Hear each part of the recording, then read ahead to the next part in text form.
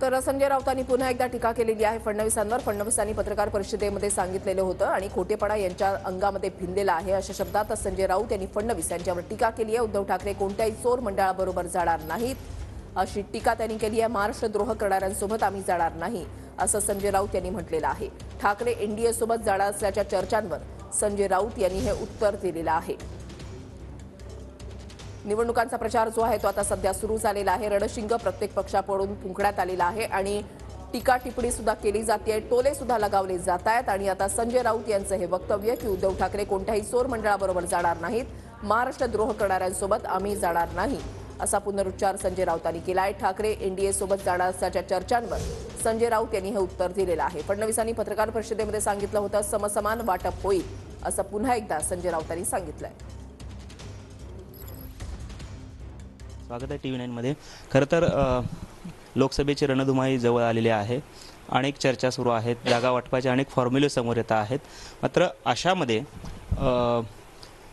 एक चर्चा दुसरी एक होते की उद्धव ठाकरे साहेब हे भाजपसोबत जाणार आहेत. काय नक्की हा प्रकार आहे? आणि अशा चर्चा का उठल्या जात आहेत? काय कारण असावं? कोण करते चर्चा? आम्ही करतोय. उद्धव ठाकरे करतायत. कोण करते? हे भारतीय जनता पक्ष आणि त्यांचे जे काही त्यांनी टोळ्या निर्माण केलेल्या आहेत आय टी सेल्स किंवा इतर काही पोर्टल्स वेबसाईट हे सडक्या मेंदूचे लोक आहेत. जेव्हा पराभव स्पष्ट दिसतो तेव्हा मग अशा प्रकारचा गोंधळ निर्माण करायचा.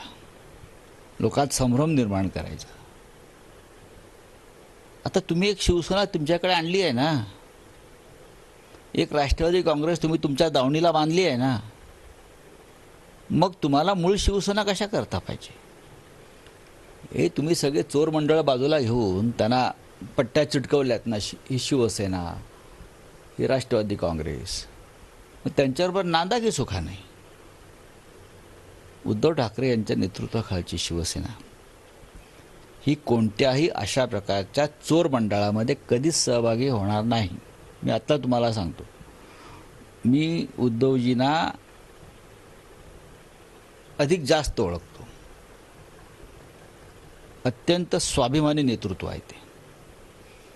ज्यांनी आमच्या बाळासाहेब ठाकरेंची शिवसेना फोडली ज्यांनी मराठी माणसासाठी निर्माण झालेल्या शिवसेनेचा घात केला ज्यांनी महाराष्ट्र कमजोर करण्यासाठी शिवसेना तोडली अशा व्यापारी लोकांबरोबर त्यांच्या मांडीला मांडीला बसण्या इतके आम्ही नतद्रष्ट आणि स्वाभिमान शून्य नाही. खरं तर अमित शहांनी एक मुद्दा मांडलेला होता संभाजीनगरच्या सभेत की उद्धव ठाकरे हे आपल्या मुलाला मुख्यमंत्री करण्यासाठी या ठिकाणी प्रयत्नशील आहेत. आणि हे सगळे परिवारवादी पार्टी आहेत. मात्र दुसरीकडे काल उद्धव ठाकरेंनी देखील एक मुद्दा मांडलेला आहे की जय शहांचं नेक नमकी काय योगदान आहे क्रिकेटमधलं? आहे ना मोठं योगदान आहे. जय शहाने शंभर सेंचुऱ्या मारल्या. टेस्ट क्रिकेटमध्ये.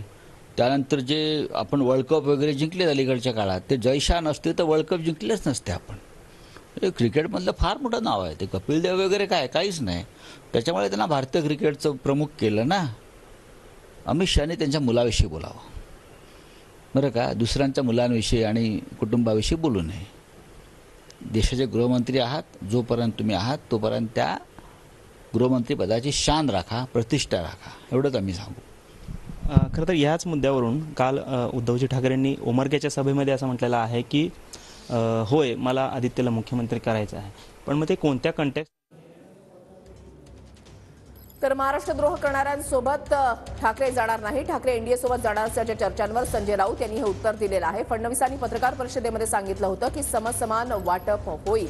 खोटेपणा यांच्या अंगामध्ये भिनलेला आहे अशा शब्दात संजय राऊतांनी टीका केली आहे.